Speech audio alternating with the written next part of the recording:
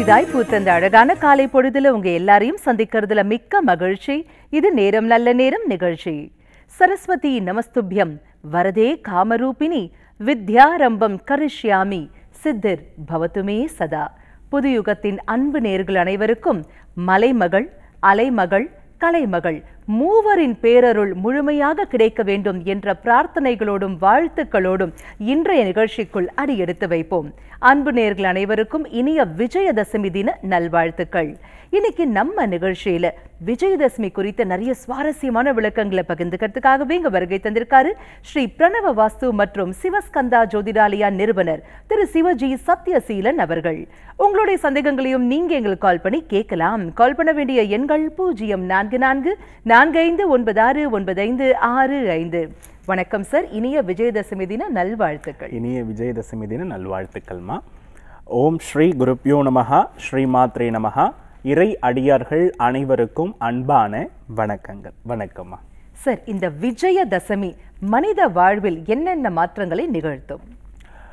இந்த உலகமே பிரபஞ்ச பேராற்றல் நிறைந்தது. உன்னால் எவ்வளவு அனுபவித்துக் கொள்ள முடியுமோ அத்துணை நல்ல பலன்களையும் அனுபவித்துக்கொள் என்பது அடியின் அடிக்கடி சொல்லி வரக்கூடிய ஒரு வார்த்தை.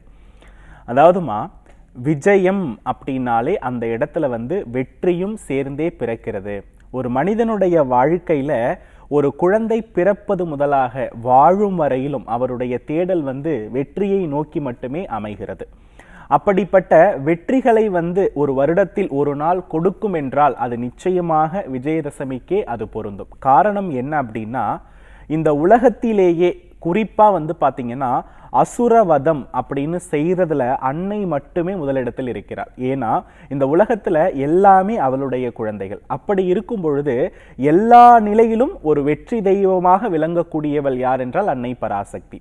இந்த பராசக்தியினுடைய வெளிப்பாடாக நாம் வணங்குவது குறிப்பா வந்து பாத்தீங்கன்னா ஒரு மனிதன் புல்லாக பிறந்து பூண்டாக வளர்ந்து மனிதனாக இறக்கும் வரையில் என்ன தத்துவம் என்பதை புரிய வைப்பதுதான் இந்த நவராத்திரியினுடைய அடிப்படை தன்மையே. அப்போ நவராத்திரியினுடைய சூட்சமத்தை அந்த திதிகளுடைய தன்மையை குறிப்பாக புரட்டாசி மாதமும் இந்த நவராத்திரியும் இணைந்து வரக்கூடிய இந்த அற்புதமான நிகழ்வை எந்த ஒரு மனிதன் தன்னுடைய வாழ்நாளில் பயன்படுத்தி கொள்கிறாரோ அவருடைய வாழ்வில் இந்த பிறவி பயன் என்ற நிலையிலிருந்து அவர் விடை பெற்று குறிப்பாக அன்னையினுடைய பாதத்தில் சரணாகதி அடைவது மிக உத்தமமான ஒரு விஷயம். ஏன் அப்படின்னா அன்னையிடத்தில் நாம் சரணாகதி அடைகிறோம் அப்படின்னா இந்த பிறப்பு இந்த பூலோகத்தில் நாம் பார்ப்பது அனைத்துமே வெற்றியாக மட்டுமே அமைந்தால் மட்டுமே அன்னையினுடைய பாதத்தில் நமக்கு சரணாகதி கிடைக்கும். அப்படி இருக்கக்கூடிய ஒரு மிகப்பெரிய அற்புதம் வாய்ந்த ஒரு நாள் அப்படின்னா அது இந்த விஜயதசமி மட்டும்தாம்மா.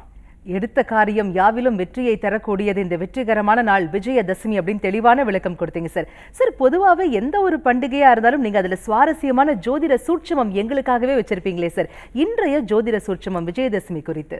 நிச்சயமாமா அதாவது காலபுருஷனுக்கு ஆறாம் இடம் கன்னியா ராசி. இந்த கன்னியா ராசி புரட்டாசி மாதம் அப்படின்னு சொல்லுவாங்க. இந்த கன்னியா உச்சம் பெறக்கூடிய நட்சத்திரம் என்பது புத பகவான். ஆறாம் இடம் அப்படின்னாலே வந்து பார்த்தீங்கன்னா வெற்றி அப்படின்னு சொல்லுவாங்க. ஆறாம் இடம் வந்து ஒரு எதிரியை வெற்றி கொள்ளணும் அப்படின்னா அவருடைய ஜாதகத்தில் இந்த ஆறாம் இடம் வந்து மிகுந்த வலுவோடு இருக்க வேண்டியது அவசியமான ஒன்று. இந்த ஆறாம் இடத்தில் உச்சம் பெறக்கூடிய அமைப்பு அப்படின்னு எடுத்துக்கிட்டோம்னா புத பகவான். புதன் அப்படின்னா வந்து கல்வி கேள்வி வித்தை. ஒருவன் வந்து பெரிய மன்னனாக இருந்தாலும் அந்த இடத்துல புத்தி செயல்படலை அப்படின்னா அவனால் அந்த வீரத்தை வைத்து எதுவுமே செய்ய முடியாது. ஆக இந்த காலகட்டத்தில் ஒரு மனிதனுக்கு பொருளும் முக்கியம் வீரமும் முக்கியம் குறிப்பாக புத்தி மிக மிக முக்கியம் அப்படின்றத அறிவுறுத்துறது தான் இந்த விஜயதசமி அப்படின்னே சொல்லலாம். சரி இப்போ இந்த இடத்துல ஜோதிட ரகசியம் எதிலிருந்து வருகிறது? இது சொல்கிற அடிப்படை என்ன அப்படின்னா நம்மளுடைய மூதாதையர்கள் குறிப்பாக சித்தர்கள் மகான்கள் எல்லாமே கல்வி கேள்வி ஞானத்துல சிதற சிறந்து விளங்கியவர்கள். எல்லாமே சித்தர்களை பொறுத்தளவில் வந்து பார்த்தீங்கன்னா சித்திகள் பெறுறாங்க அப்படின்னா அவர்களுக்கு ஞானம் இல்லாமல் அறிவில்லாமல் குறிப்பா சரஸ்வதி அனுகிரகம் இல்லாமல் அவர்கள் எதுவுமே செய்ய முடியாது. அப்போ ஒரு மனிதன் பிறவி பயனை வெல்ல வேண்டும் என்றால் அவருக்கு நிச்சயமாக சரஸ்வதியினுடைய அருள் கட்டாயமாக தேவைப்படுகிறது. சரி இப்ப அந்த காலத்துல ஐநூறு வருஷம் வாழ்ந்தாங்க ஆயிரம் வருஷம் வாழ்ந்தாங்க.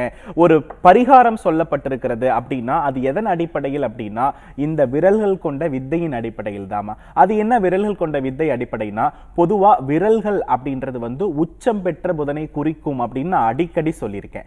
அப்போ ஒரு மனிதன் கர்ம வினையிலிருந்து விடுபட வேண்டும் என்றால் இந்த விரல்களை கொண்ட தியானம் நல்லா புரிஞ்சுக்கணும். இந்த விரல்களை கொண்ட தியானம். இந்த விரல்களை கொண்ட பதிகத்தை எழுதி அந்த இடத்துல என்ன பண்றார் அப்படின்னா விதியை வெல்லக்கூடிய அமைப்பு பெறுகிறது. இந்த விரல்களாலே இறைவனுடைய பாதத்தை தொட்டு வணங்கும் பொழுது அவன் பிறவி பயனிலிருந்து விடைபெறுகிறான் இந்த விரல்களாலே இறைவனை அர்ச்சிக்கும் பொழுது அவன் பிறவி பயனிலிருந்து விடைபெறுகிறான். இந்த விரல்களாலே இறை நாமங்களை எழுதும் பொழுதும் அவன் வந்து விடைபெறுகிறான். அப்போ இந்த விரல்களுக்கும் விதிப்பயனை வெல்லுவதற்கும் ஒரு மிகப்பெரிய தொடர்புண்டு. விரலுக்கும் வித்தைக்கும் நிச்சயமாக ஒரு மிகப்பெரிய ரகசியங்கள் இருப்பதனுடைய வெளிப்பாடால தான் சரஸ்வதி தேவியினுடைய கையில விரல்கள் வந்து வீணை மீட்டும் ஒரு கையில வந்து ஜெபமாலை என்ன பண்ணும்னா உருட்டிண்டே இருப்பாங்க இன்னும் ஒரு கையில வந்து பார்த்தீங்கன்னா அவங்க கையில் சுவடி இருக்கும். இது எல்லாமே வந்து ஒரு மனித மனிதன் வந்து எப்பொழுதுமே விழிப்போடு நிலையில் இருக்கக்கூடிய அமைப்பை வந்து சரஸ்வதி தேவி என்ன பண்ணுறாங்க நமக்கு வெளிப்படுத்துகிறாங்க அப்போ இந்த தன்மைகள் தான் ஒரு மனிதன் வந்து தொழில் ரகசியத்தின் அடிப்படையில் எப்படி இருக்கணும்? புகுத்தணும். சரஸ்வதி சொல்கிறது என்னன்னா எப்பொழுதும் விழிப்பாக இரு. தொழிலில் எப்பொழுதுமே விழிப்பாக இரு. நான் எப்படி என்னுடைய கைகள் எப்பொழுதும் வீணை வாசிக்கிறதோ என் கைகள் எப்பொழுதும் எப்படி ஜபமாலை உருட்டி கொண்டிருக்கிறதோ ஒரு கையில் எப்பொழுதும் எப்படி என் கை பதிகத்தை படித்து சாஸ்திரத்தை எழுதி கொண்டிருக்கிறதோ அவ்வாறே நீ என்னை வணங்கினால் உனக்கும் அந்த அருள் பாலிப்பை நான் தருவேன் அப்படின்றதினுடைய வெளிப்பாடு தான் இந்த சரஸ்வதி தேவி புதனுடைய உச்சம் பெற்ற சூட்சமும் நமக்கு சொல்லுது.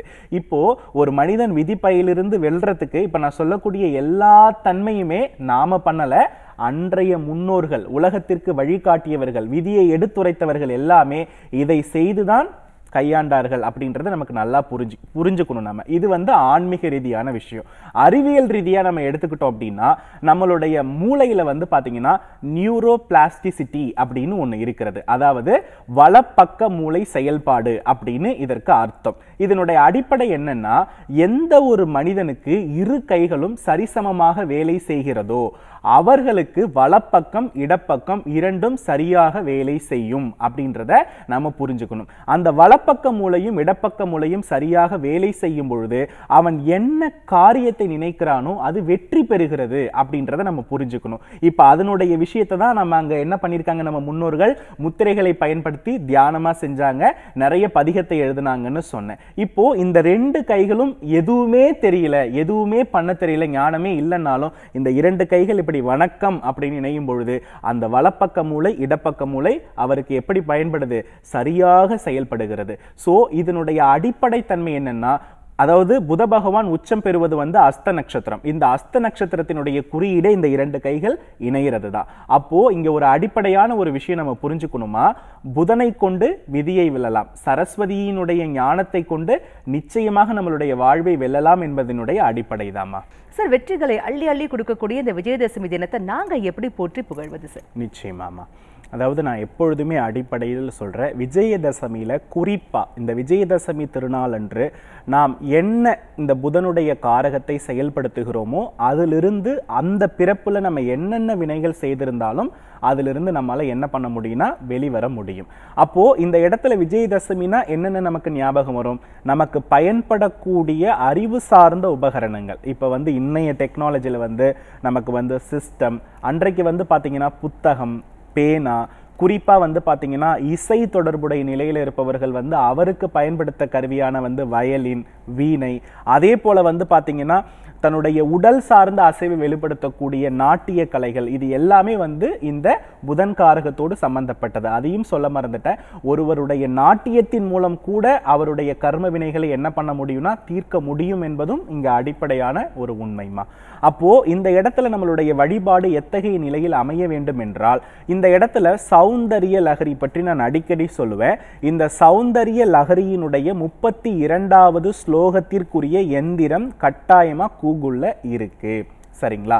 அதை வந்து பார்த்தீங்கன்னா நீங்கள் வந்து இந்த சரஸ்வதி பூஜை அப்படின்றத நீங்கள் வீட்டினுடைய வரவேற்பறையில் செய்வது மட்டும் உத்தமமான பலன். பூஜை அறையாக இருந்தாலும் கூட வரவேற்பறை என்பது புதன் காரகத்துவம். அங்கு செய்தால் இதனுடைய பலன்கள் இரட்டிப்பாக இருக்கும் என்பது உறுதி. அப்போ அந்த வரவேற்பறையில் அந்த முப்பத்தி ரெண்டாவதுக்குரிய ஸ்லோகத்தை மஞ்சளால் என்ன பண்ணணும்? நம்மளுடைய விரல்களாலேயே வரையணும். விரல்களால் வரைந்து ஒரு மணப்பலகை வைங்க. அந்த மணப்பலகையின் மேலே ஒரு பச்சை வஸ்திரம். புரியுதுங்களா? அந்த பச்சை வஸ்திரத்தின் மேல் என்ன பண்ணணும்னா ஒரு வாழை இலை வைத்து வாழை இலையில வந்து பச்சை பயிறு வைக்க வேண்டியது அவசியமான ஒன்று. அதற்கு மேலே கடம். கடம்னா சொம்பு. பித்தளை சொம்பு எது வேணாலும் இருக்கலாம். அதே போல நம்ம எப்பொழுதும் போல கலச திரவியம் போட்டு மாவில வச்சு மஞ்சள் தடவிய தேங்காய் வைப்பது அதி உத்தமமான ஒண்ணுமா? இப்போ இந்த இடத்துல என்ன ஆகுறாங்கன்னா அந்த அஸ்த நட்சத்திரத்துல குறிப்பா அந்த முப்பத்தி ரெண்டாவது ஸ்லோகத்திற்குரிய குறியீடும் இந்த புதன் காரகத்துவம் வந்து கலச ஆவகனமா வீட்டில் என்ன ஆகிடுச்சு? அமைஞ்சிருச்சு. அதுக்கு முன்பாக அமர்ந்து நம்ம என்ன பண்ணணும்னா வீட்டில் யார் யார் என்னென்ன பொருள் பயன்படுத்துறா? பசங்க இருந்தால் வந்து நோட்டு பேனா புத்தகங்கள் இல்லை ஒரு ஐடி ஃபீல்டில் இருக்கிறார் அப்படின்னா அவருடைய சிஸ்டம் லேப்டாப்ஸ் அவருக்கு வாழ்க்கையில் அறிவு சார்ந்த உபகரணம் எது இருக்கோ அது அத்தனையும் மங்களகரமாக மஞ்சள் குங்குமம் வைத்து வைப்பது அவசியமான ஒன்று. இப்ப கிட்டத்தட்ட பொதுவா இந்த நவராத்திரி அப்படின்னாலே ராத்திரி வழிபாடு தான் நல்லது. அதனால முடிந்தவரை வந்து இரவு ஆறு மணிக்கு மேல இந்த விஜயதசமி வழிபாடு செய்யறது நல்லது. இதுல குறிப்பா வந்து நெய்வேத்தியம் அப்படின்னு பார்த்தீங்கன்னா பச்சை பயிறு பாயாசம் தான் இதுக்கு நெய்வேத்தியம் வந்து மிக மிக மிக மிக உகந்ததாக சொல்லப்படுகிறது. நம்ம வந்து பார்த்தீங்கன்னா சரஸ்வதியினுடைய அஷ்டோத்திரம் தமிழில் எடுத்துக்கொள்வது மிக மிக நல்லது. அபிராமி அந்தாதி தெரிந்தவர் அபிராமி அந்தாதியை பாராயணம் செய்யலாம். இப்போ ஆறு மணிக்கு மேலே நம்ம கலச ஆவாகனம்லாம் செஞ்சுட்டோம். இப்போ நம்ம எந்த மலரால் அர்ச்சிப்பது மிக மிக விசேஷம் அப்படின்னா வன்னி இலை அர்ச்சனை வந்து மிக சிறப்பு. கிடைச்சா பாருங்க. அப்படி இல்லைன்னா சம்மங்கி பூ கிடைச்சா பாருங்க. அப்படியும் அதுவும் இல்லைன்னா மஞ்சள் நிற பூ கிடைச்சா பாருங்க. இதை கொண்டு சரஸ்வதி அஷ்டோத்திரத்தை நம்ம என்ன பண்ணணும்னா முழுமையாக அர்ச்சனை பண்ணிட்டு நெய்வேத்தியம் பண்ணிட்டு நம்ம என்ன பண்ணணும்னா உடனே இந்த கலசத்தை பிரிச்சுட்டு அந்த கலச தீர்த்தத்தை நம்ம என்ன செய்யணும் அப்படின்னா வீடு முழுக்க புரோக்ஷனம் புரோக்ஷனம்னா தெளிப்பது. தெளிச்சுட்டு அதுக்கப்புறம் அதே தீர்த்தத்தை நம்ம மாவிலையால நம்மளுடைய உடல்லையும் தெளித்து கொள்ள வேண்டியது அவசியம். இது பூஜை முடிஞ்சு நம்ம பண்ணணும். அதற்கு பிறகு அந்த பச்சை பயிர் இருக்கு இல்லைங்களா? அந்த பச்சை பயிரை மறுநாள் காலை நல்லா புரிஞ்சுக்கணும். அந்த பச்சை பயிரை மறுநாள் காலை என்ன செய்யணும்னா ஊற வைத்து நாம் என்ன செய்யணும்னா கோவிற்கு கொடுக்க வேண்டும். ஊற வைத்து கோவிற்கு கொடுத்து இந்த வருடம் எனக்கு விஜயதசமி மிக சிறப்பான ஒரு வருடமாக இருக்கணும். என்னுடைய வாழ்வில் தொழில் வெற்றி நான் செய்யக்கூடிய அனைத்திலையுமே ஒரு மிகப்பெரிய வெற்றியை கொடுக்கணும். அவரவருக்கு எந்த தொழில் அவரவருக்கு எந்த கலை இருக்கிறதோ அது தொடர்புடைய வெற்றி தனக்கு கிடைக்க வேண்டும் என்று முழுமையாக நாம் வேண்டிக் கொள்வது அவசியமான ஒன்றுமா?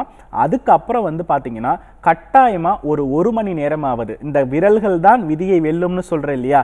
தியானம் தெரிந்தவர்கள் தியானம் செய்யலாம். அதே போல எழுத படிக்கணும்னு நினைக்கிறவால எழுத படிக்க சொல்லணும். குறிப்பா ஒரு மணி நேரம் இந்த கைவிரல்களுக்கு வேலை அவசியம். அது வந்து கலை தொடர்புடையதாக இருக்க வேண்டும். கலை என்றால் நாட்டியம் இசை எழுத்து தியானம் அதே போல் வந்து பார்த்தீங்கன்னா அல்லது இதெல்லாம் கூட செய்ய முடியாதுன்னா அந்த ஒரு மணி நேரத்தில் பிறருக்கு நோட்டு புத்தகம் பேனா வஸ்திரங்களை தானம் கொடுக்கக்கூடிய அமைப்பு. இதையெல்லாம் நாம் சரியாக செய்யும் பொழுது ரொம்ப நல்லா இருக்கும்.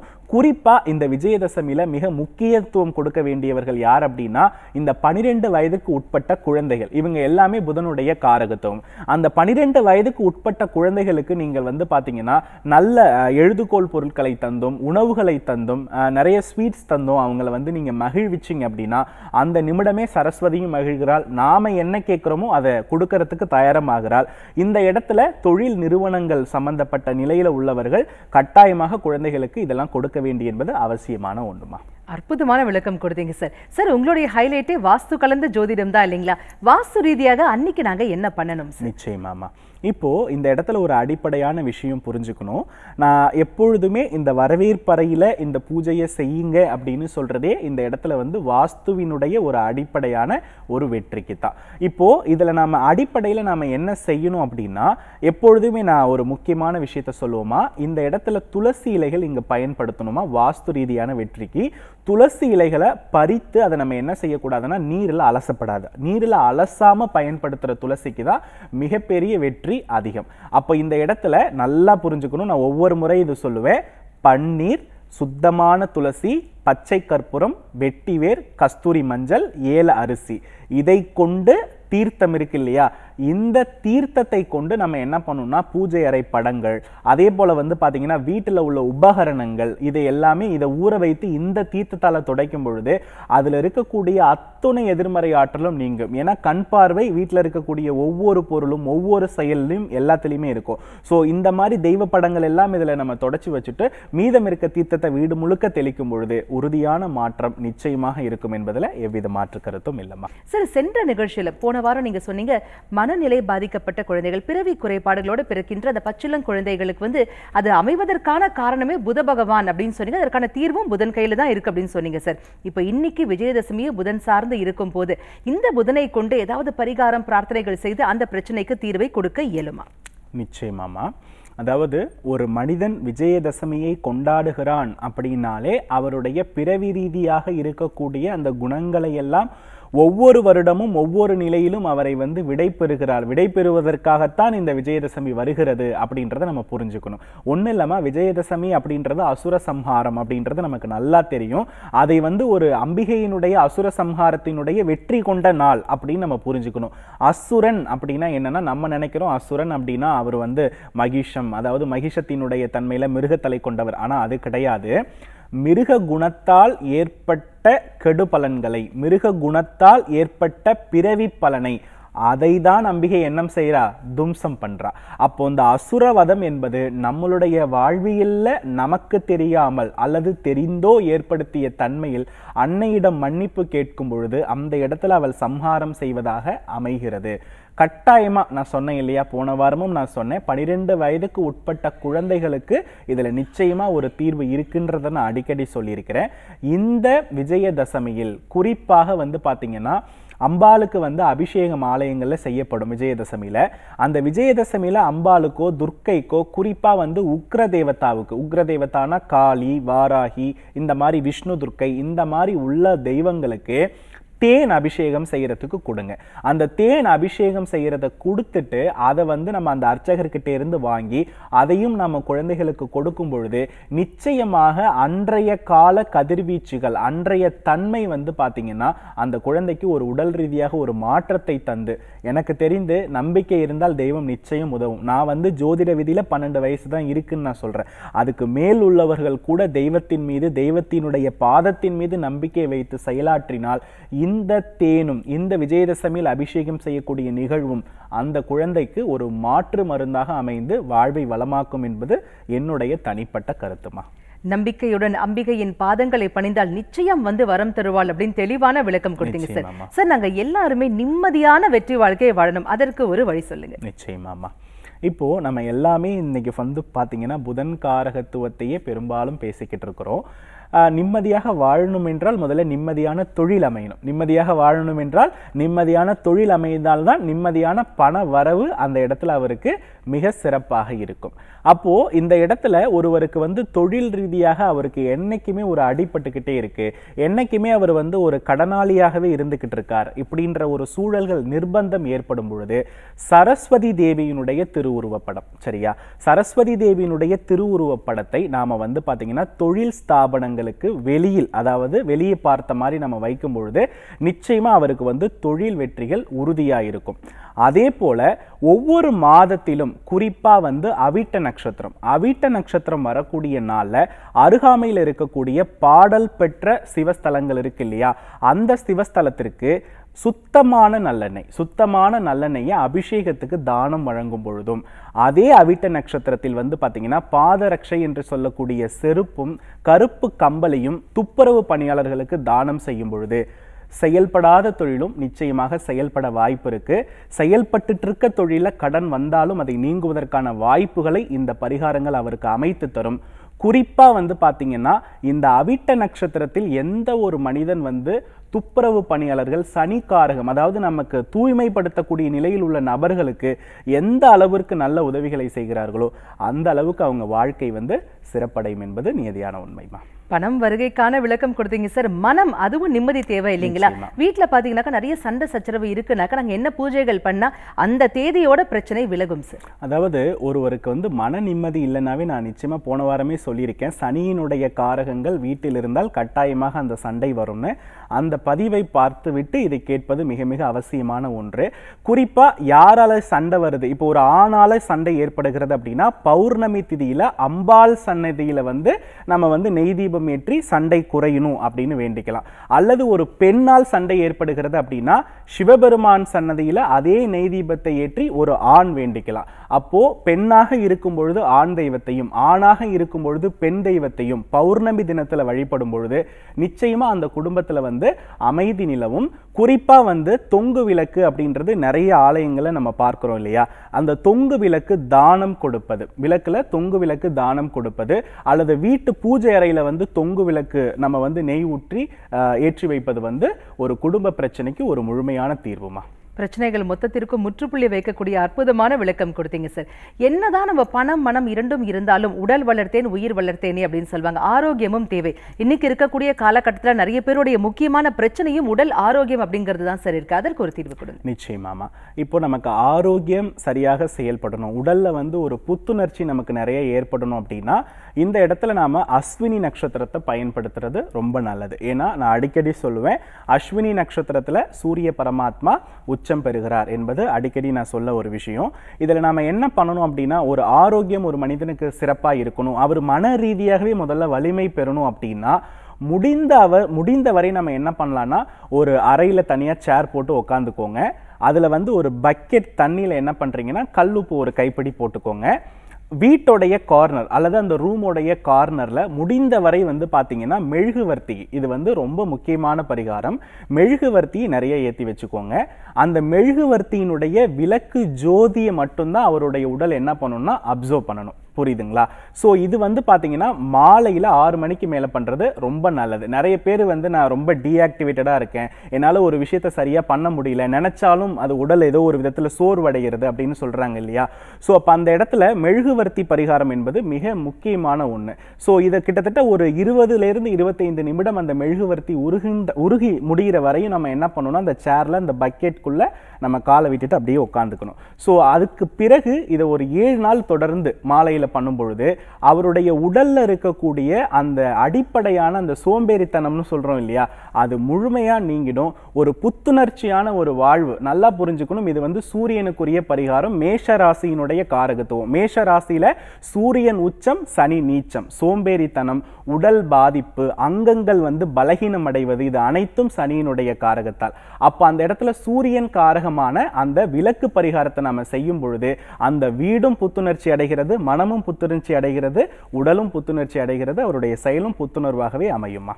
அற்புதம் சார். நாங்க எல்லாருமே நலமான வளமான வாழ்க்கை வாழ்வதற்கு தேவையான அத்தனை விளக்கங்களையும் பகிர்ந்துட்டீங்க மிக்க நன்றி. நன்றிமா நேர்களே அடியேன் ஜோதிடம் வாஸ்து வாயிலாக உங்களுடைய வாழ்வில் உள்ள குறைகளை தீர்த்து வருகிறேன். எப்போதும் போல வாஸ்து விசிட் தொடர்ந்துகிட்டு இருக்கிறது. ஜோதிடத்துக்கு அப்பாயின்மெண்ட் வேணும் அப்படின்னு விருப்பப்படுறவா மேக்ஸிமம் வாட்ஸ்அப் காண்டாக்ட் வந்து நல்லது. ஃபோன் பண்ணால் மேக்ஸிமம் எடுக்கிறது வாய்ப்பு குறைவு தான் வாட்ஸ்அப்பில் வந்தால் நன்மையாக இருக்கும். மேலும் அடுத்த வாரம் நல்ல ஜோதிடத்தோடு தொடர்புடைய ஆன்மீக விஷயங்களை தர காத்திருக்கிறேன். அதுவரை உங்களிடமிருந்து விடைபெறுகிறேன். வெற்றிவேல் முருகா. நன்றி வணக்கம். புது யுகத்துடன் இணைந்திருங்கள் மகிழ்ந்திருங்கள்.